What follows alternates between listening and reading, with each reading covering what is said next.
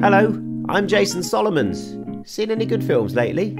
This is the podcast where the stars and filmmakers tell us what they've been watching and making and which movies formed their life.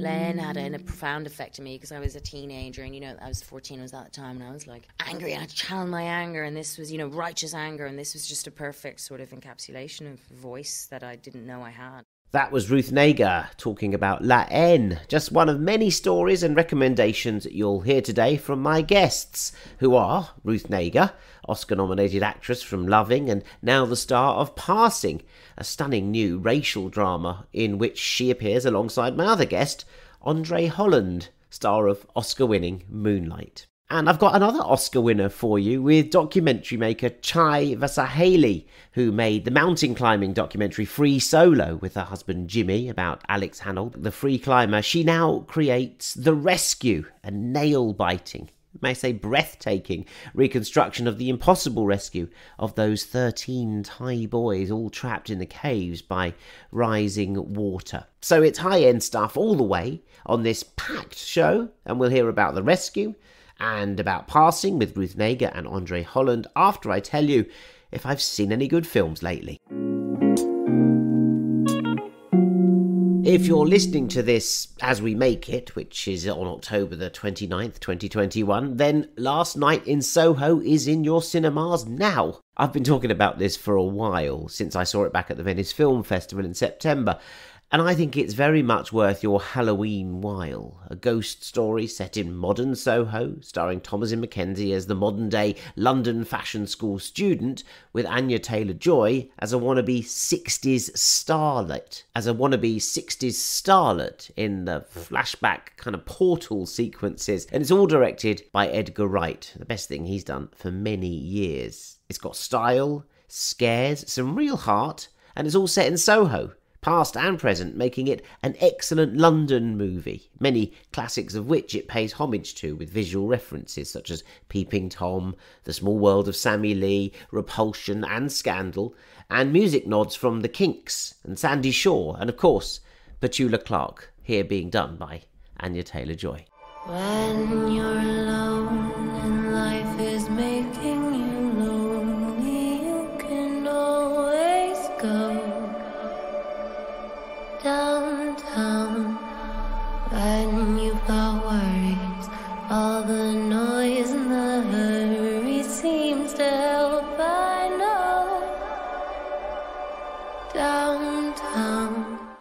Sticking with that 60s vibe, there's a companion piece of sorts to Last Night in Soho with Quant, which is a, a minxy little fashion doc directed by Sadie Frost about Mary Quant, who popularised the miniskirt, dressed and liberated 60s women in PVC macs, bright tights and flat shoes, all while sporting Vidal Sassoon bob cuts and creating a fashion empire. It's bright, fun stuff, breezily told, and packed with star contributors such as Kate Moss and Dave Davies. You know you make me wanna shout. Look my. English fashion has always been notoriously rebellious. Mary Quant turned the miniskirt into a worldwide phenomenon. I think she started the miniskirt, didn't she? youth at the time was about wearing something that old people didn't like. Well, I can't say that I particularly approve of some of the stars. To Thailand now for The Rescue, an absolutely breathtaking documentary about the famous rescue of the football team, the Wild Boars, who got trapped in a cave system as the world watched on and as the monsoon waters rose. My guest, Chai Vasarhelyi, knows all about gripping films. She made Free Solo. Uh, about the world's best free climber, and that went on to win the Oscar for documentary. And she goes even further now into the rock face itself, deep below, to reconstruct the cave diving feats behind this remarkable story. A story of when the world held its breath. We didn't think it was possible to dive the children out. We came up with the actual logistical plan. I told him that's a horrible idea. And then Rick said, What if it's the only idea? We were brutally honest. We promised multiple fatalities. It's about controlling your emotions and your fear. Panic is death in the cave. My mind was on overdrive. Oh my god, am I gonna be good enough? If they die, it's gonna tear me apart.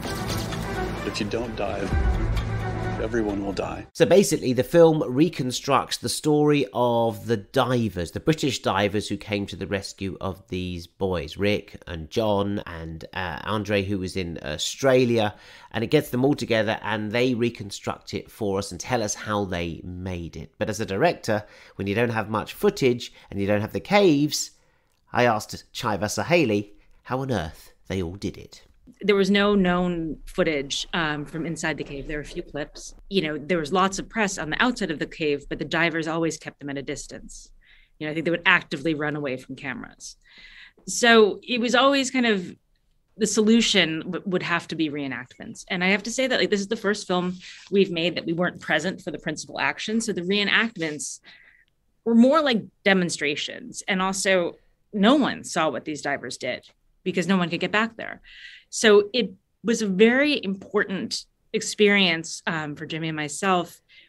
We went to Pinewood um, Studios because it was, it was October 2020, we're like the height of the pandemic, but most of the divers are British, so they were close by. And they showed us how they did it. And like, you know, from showing up in their real gear. And I'm like, no wonder the military was a little bit skeptical of you. you know, like Rick stuff is, I mean, I was like, you surely by now you can afford a new wetsuit.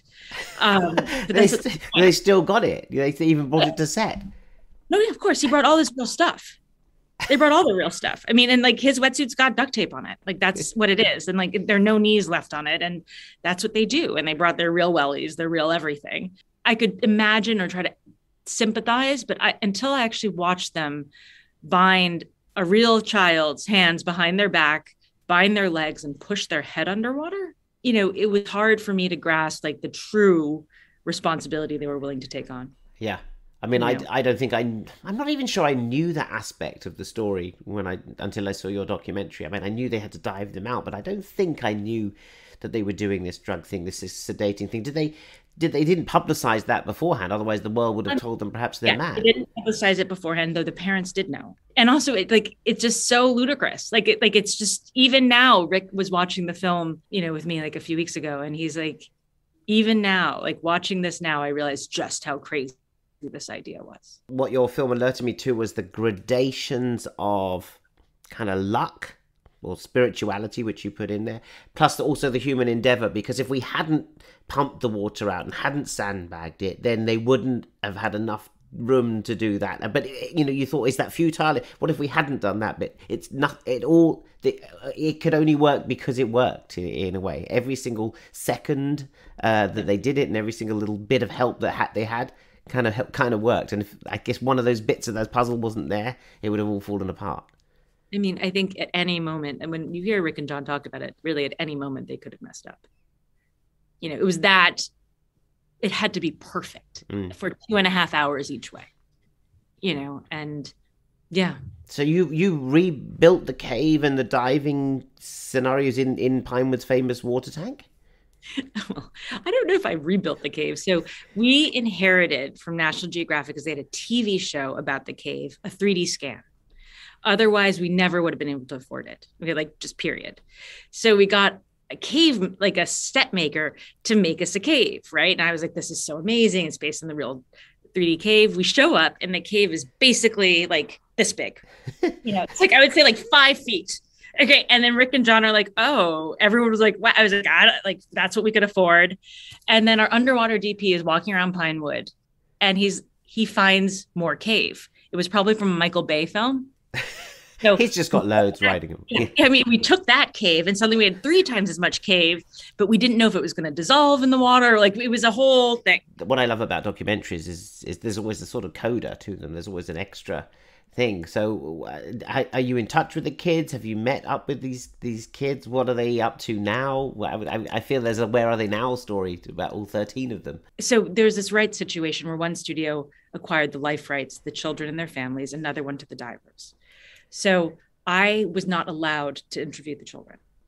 But I did go when I went to Thailand, I went and walked the whole cave. You did it? Oh yeah. Oh my god, I was Chai! terrified. I would never have Uh, gone in there knowing what happened, even in the dry season You know how they got me to go in? with chocolate. They told me that none of the other directors had gone in. Yes, you're easy. and Vern was holding my hand and Jeanette was holding my other hand and like and then the moment after five minutes you're like totally enchanted. I get it. This is like a one, beautiful enchanting adventurous place like to explore. Of course my kids would like it. Of course these children go. But i then i also got to meet some of the children in kojak. And that was really meaningful to me. And you know they understood that we had acquired dr harris's footage of them being anesthetized. So that was their first question to me can we watch it? Mm-hmm. And I was like, oh my gosh, I don't want to re traumatize you, but of course we have to honor what you say. So they watched, you know, the second half of the film, The Rescue, and then told me about some of their experiences. The Rescue is in cinemas and on National Geographic now. Also out in cinemas before beginning residency on Netflix is Passing, the directing debut of actress Rebecca Hall, and taken from a 1929 novel about two black women in 20s New York who pass for white women to avoid segregation, crossing the colour line, it was called. They're played by Tessa Thompson and Ruth Negga, who are both superb as old acquaintances who run into each other, and each knows the other one's secret as they take tea in a Manhattan hotel in a black and white film all about colour.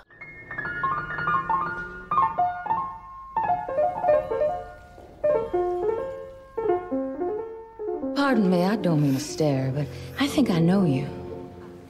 Claire? Mm-hmm. I'm trying to find out the history of the blonde you've brought along. She's a girl from Chicago I used to know. Princess from Chicago. Things aren't always what they seem. I'll be damned. Also starring in passing is Andre Holland, such a star in Moonlight and in the Netflix show The Eddy.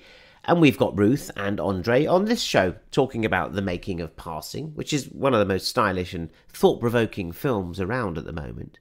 I caught up with them both during the London Film Festival to find out more about these actors behind such bold and beautiful performances. So when I met Ruth Negga, Ethiopian born, Irish raised Ruth Negga, I asked her if she watched any films as preparation for her role in Passing. And we also talked about some other big preparations upcoming to play Lady Macbeth opposite Daniel Craig on Broadway. I watch a lot of old fashioned black and white films anyway, and I've always kind of gone, you know, there's always like a black person like in the corner, like waiting, you know, as a maid or a chauffeur, and you're going, I don't know about that person's lives. We're always being sidelined, and I think this is kind of like a, a redress, you know?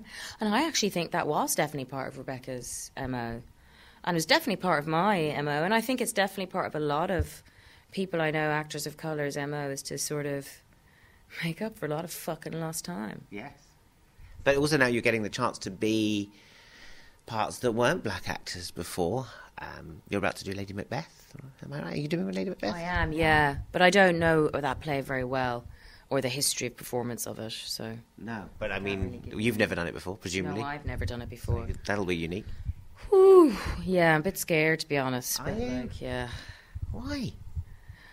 Th- theater's terrifying because it's like live. People are like, you know, the thing is, you know, people go, you know, I think a lot of people go, why, you know, get asked these questions. How do you learn lines? Is it, is it scared being in front of an audience? And people are like, oh, they're such silly questions. And I'm like, no, they're very valid actually.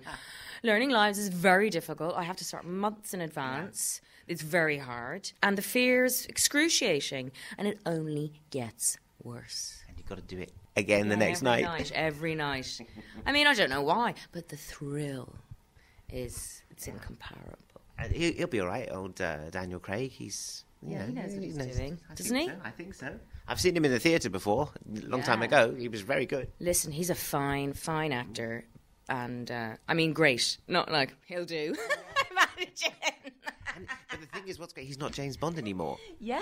So- But no, but you know what's brilliant about him playing Macbeth is that the idea that, see, Macbeth has to be charismatic, and I mean in the old fashioned sort of sense of the kind of a leader, like almost like a religious leader, and like a leading. These men had, like, I mean, it's still kind of um, present, I suppose, in war armies. You know, you need to be willing to follow this person to the death, and and Daniel Craig has that.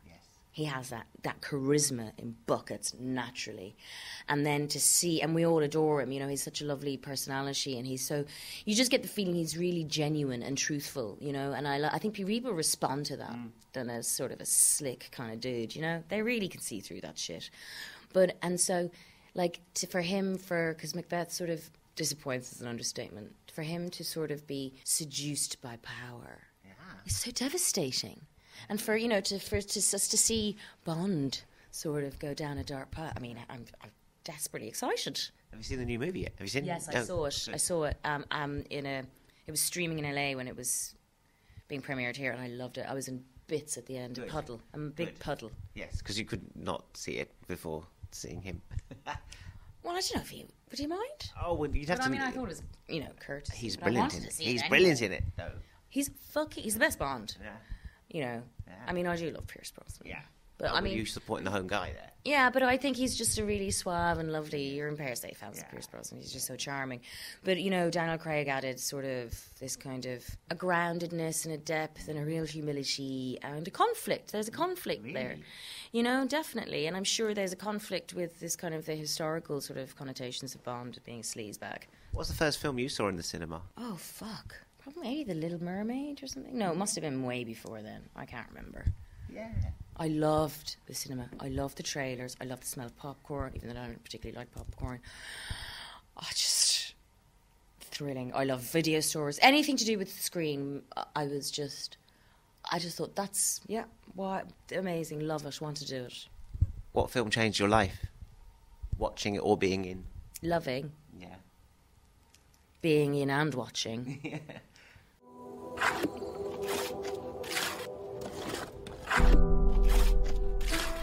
I want to take Mildred up to D.C. to get married. You sure about that? By the power vested in me by the District of Columbia, I now pronounce you husband and wife.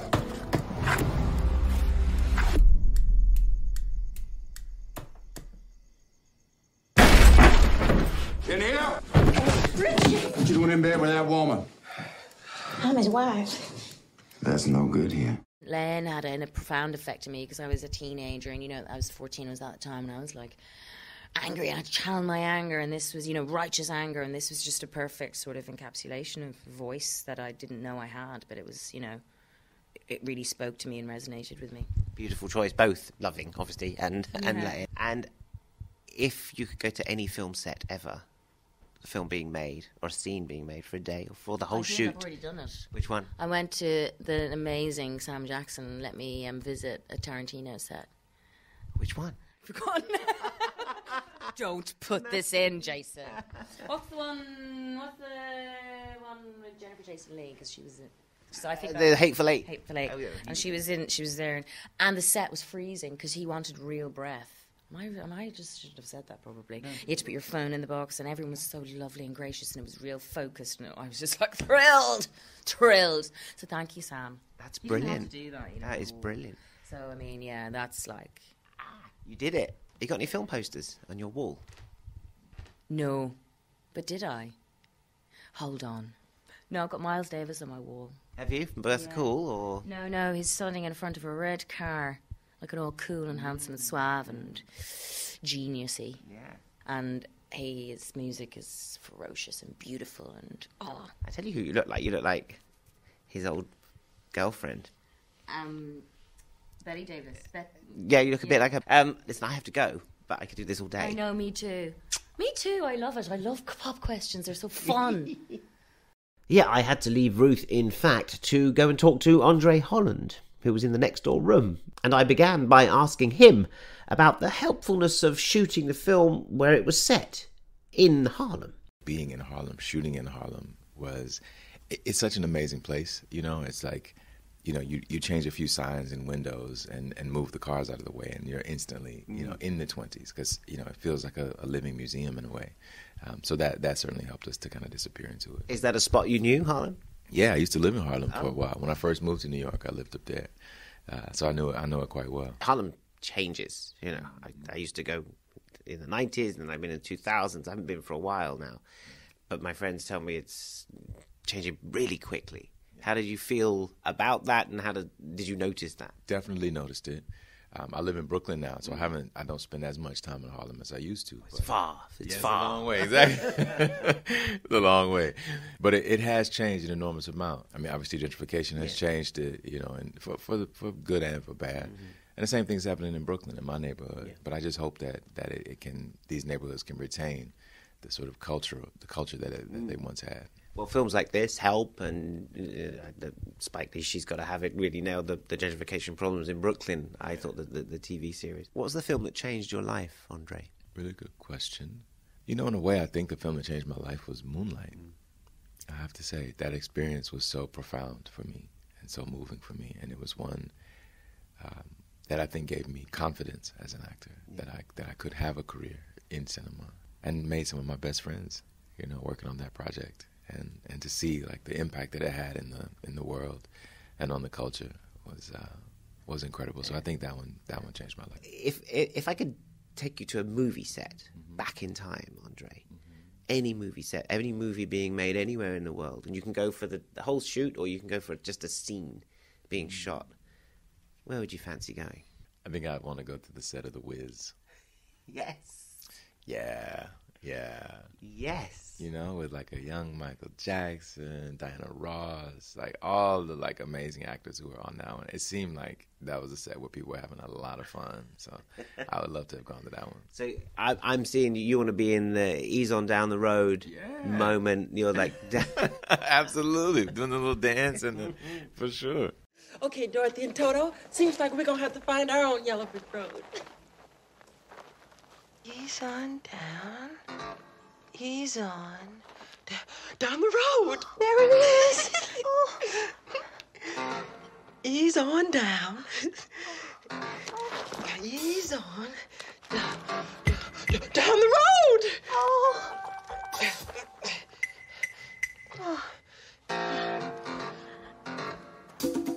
Don't you carry nothing that might be a load. There it is. Dorothy, look!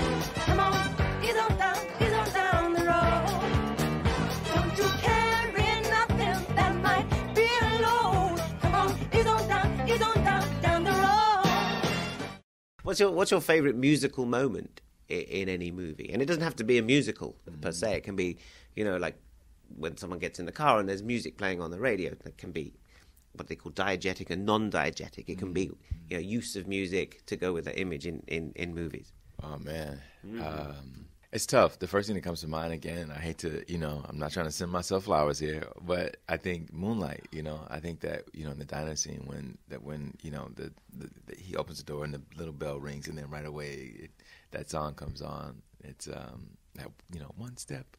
It's so beautiful and like so perfectly timed and Such a beautiful track. I love that I love yeah. that track, and I- I'd only knew the track because of Mos Def. Yep, Because yep. it's um sampled in sampled in Yeah. This is Miss Fat Booty. Yeah, and I music man, huh? All Mhm. right. So and then to hear the Aretha, it's once uh, what a song. It's such a beautiful song, and it's just so perfect, like perfect for that moment. Yeah, and I and I didn't know when we were doing this, when we were shooting that scene, that that was the track that he was going to be. I wasn't sure that that was the track he was going to be playing, and um, so when I saw it for the first time, I was like, oh, this guy. Yeah. it's, it's so cool. I'm only one step ahead of your arms, one kiss away from your sweet lips. I know I can't afford to stop for one moment, cause I'm just out of reach of your fingertips. What do you What do you watch? Have you seen any good films lately? Lately, we've been so busy with this, I haven't really had a chance to to see much, to be honest. Yeah, nah, not really. I've been doing, I've been watching a lot of things for like as research for some things I'm working on. So a lot of like classic black films I've been watching. Oh, tell me, tell me. Well, like Claudine is a film that uh, that I watched recently. This other film, A Hero Ain't Nothing But a Sandwich, which is like a really obscure black film that uh, that I watched. Um, rewatched Sankofa, Haile Gerima's film. Which one's that one? Sankofa. It's a film that Ava actually Ava DuVernay's company just released it. Yes. re-released it. Yes, I saw the re-release come out. Yeah, not it's seen really Sankofa, dope. Yeah. Really dope. And then one of my all-time favorites, Killer of Sheep, Charles Mm, Burnett's film. Yeah, yeah, I saw that again recently. So Now let me tell you, man. It's a one to five proposition offhand. Me and him face a dark day if we have to go before the magistrate. man, look, I don't want to hear this. No, I don't want to hear minute, it. Stan, wait a minute. Let the man go tell him to tell you. Mm-hmm. Well, look, man, you know somebody that keep their mouth shut Some dope, man. and won't blush to murder? Man, you know more kind of people like that than I do. Who the hell told you I'd help you do away with somebody anyway? Friend of yours. Who? That don't make no difference, man. Say, look, man, we're gonna do the extra killing. All we want you for is unnecessary details. Just be in the background. Don't you know. want to hear it. Why don't you let me borrow your Roscoe? And I don't keep no gun. When you make a film like Passing, like Moonlight, they're so historically important sometimes. Mm-hmm.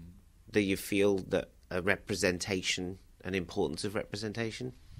yeah, I mean, I feel that with any with everything I do, Mm. whether it's a, a a, you know a big movie or if it's a, a play somewhere, anything I do, anytime I do anything, I feel the weight of like, all right, what is this going to mean? You know, how are my people being represented in this? How committed are the the sort of director or whoever's in charge of it to standing in the right place to tell our stories, to tell this story? So yeah, I feel that all the time. I, I get that from your performances in the in the in the best way. You know, honestly, I would see you come on. I think there's a there's a man who knows what he's doing. well, at least who cares about what he's doing, who's trying to know what he's yeah, doing. there's soul in there that that, that works yeah, for me. Yeah, I don't, I don't, I don't like being careless with it. You know, I feel like it's so important. You know, these images that we create, and these stories that we tell, and I, I, I don't want to ever feel um, shame around anything I've done. I don't want to feel like I've done anything to denigrate uh, my culture. So Is that hard sometimes to f to fight against? it's really hard. I think if you're gonna make, you know, if you're gonna make movies that tell stories about black folks, you gotta love black folks, and and you know, a lot of people don't. Mm. So, you know, so uh, it's it's not always easy, Ooh, but it's that hurts me to hear you say it. well, it's true though. I ain't lying. It's true. That's true. Yeah, I think a lot of people love black culture, love black music, love the, the aesthetics, you know, and and but to like really, really, really love black people and be curious about black people, you know, I think it's a it's a unique thing.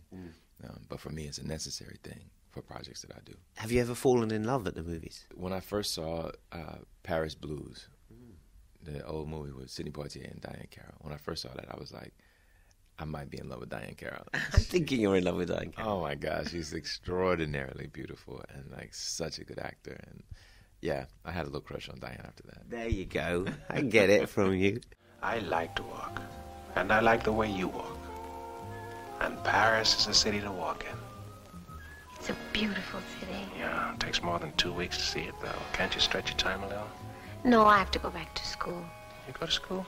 Mm-mm. I'll start teaching next term. What's that? Notre Dame? You didn't even look. Well, I didn't think they'd moved it. I guess you pointed it out to lots of girls from here. One or two, hmm maybe three. Well, it's lovely. So are you. And I've never said that to any of them before. Well, not more than one of them. Not more than one on this bridge. you know, if I had a teacher like you when I went to school, boy, yeah, I would have learned something. I think you've learned enough. Not in school. Have you ever seen a location on film and you just thought, my God, I, want to go there? What's your favorite mm. location? So many, I would say. I think you know the first thing that comes to mind is not like a single location, but as an actor, made me like want to go to all the locations. The Bourne movies, I love that. Like you know, they- they're gonna be here. We're in you know Mauritius, and then we're in Berlin, and then we're here. That sort of uh, that sort of a, a story is one that uh, made me a little bit jealous. like I want to have that experience. You want to be James Bond? Yeah, absolutely. Why not? it's it's vacant. I hear, I hear it's vacant, but and finally, if I can uh, say to you your favorite cinema, where's your favorite cinema? Or if not, like you have one cinema, Mm-hmm. The, the best screening you've ever been to. You're like, Whoa. Wow. Two cinemas come to mind. One, in New York, there's a cinema called Metrograph, which I love. Have you been there? No, where's that? Oh, it's beautiful. It's in the Lower East Side. Oh, I Um, should know this. Yeah, it's but it's a newer one. It's not a it's not one that's been there for very long. And uh, some friends of mine like bought this space and like created this gorgeous, gorgeous cinema. It's really beautiful. So that's my favorite. And then maybe my second favorite or a tie, uh, where I grew up in Alabama. It's a town called Bessemer. There was a theater called the Lincoln Theater, which uh, was what's called a race house. So it was a place where black people could go and see films uh, during you know segregation. And it's a it's a cinema that my parents grew up going to. It was abandoned, has been abandoned for a long time. But my parents and I purchased this cinema together about five years ago and are in the process of restoring it. So that is uh, that is also my my favorite cinema. Well, that is an extraordinary story. Very rarely you get such a great answer. So you're gonna, what's it going to be called? Well, as of now, we're still calling it the Lincoln. That's still the plan, but that may change as we get closer to opening. And are your parents in in the movie business too? They are now. Well, they, yeah, they are. They are now. They are now. But no, they, they don't work in the, in the in the music business. My father, uh, they both have retired, but my father worked at a, a a fencing company for many years. He was in sales, and my mother worked at the steel mill for Mm. 36 years. So, you know, hardworking blue collar folks, but they love art and love culture, and you know, Proud of you? yeah, yeah, very proud. It's you know, they introduced me to acting and to theater, so uh, And let you do it is the big thing for a blue collar family. You say I want to be an actor, and they come come on, you Yeah, know, get yourself a trade or something. Yeah, but they they actually pushed me into it. You know, they insisted that I do it. They could see that I was interested in it, and they're the kind of people that just are like, "Hey, whatever you want to do, we'll support you." So, So, how how how long is it going to be before we're we're at the? I'm coming for the opening at the Lincoln. yeah, what are you going to What are you going to show? What's your first film at the Lincoln? Come on, I don't. know You've yet. dreamt of this, Andre. I've dreamt of it. I've dreamt of it for sure, but I'm not. I'm not sure yet. It depends on how long it takes us to get it done. I think we're, you know, probably two years out. But uh, so we'll see what's happening in the world. Uh-huh. You know what? I know someone who's writing a project, a great black project. And he's writing, and he might direct, and he might produce, and he really could show it at the cinema. You know what? That could be great. That could be great. it'll be done by that time, so it'll be a great. Sounds like timing. So you're writing, producing, distributing, exhibiting. everything, everything. Andre Holland, joy to see you. Thanks for joining us on the show. Thanks for having me. I really enjoyed it. See you soon, my friend. Ruth Negga and Andre Holland, they're the stars of Passing, which is in cinemas and on Netflix. And that brings us to a close for this episode and indeed for this season of Seen Any Good Films lately. There's a lot to be getting on with while we take a break for about a month before we come back and dive right into awards season. So you've got uh, Last Night in Soho to watch, Paris Blues as recommended by Andre Holland with Diahann Carroll. Certainly sounds like something I need to see. With Sidney Poitier and Paul Newman as jazz musicians in Paris. I've got to see that. Uh, and over the next few weeks, you'll have to make your mind up uh, if Spencer is any good or a load of old cobblers. I suspect the latter. You'll have Mothering Sunday to be a bit, eh, all right, over. And uh, I'm looking forward to seeing Arsene Wenger Invincible, a documentary, which I'm actually in if you look very, very carefully. I'll still be doing my Totally Wired radio show, so there'll be some coverage of those films on the Jason Solomon show, and of course, the ongoing delights of Monday nights are what's going to keep occupying me Succession and Curb Your Enthusiasm. Going old school and awaiting the new episodes each week. That's what I'm watching. So that's plenty to keep you busy to answer that eternal question seen any good films lately? I'll see you back here in December, so we'll go out with that other great musical moment that Andre Holland mentioned in Moonlight. The gorgeous Barbara Lewis and Hello Stranger. Goodbye. Hello, stranger.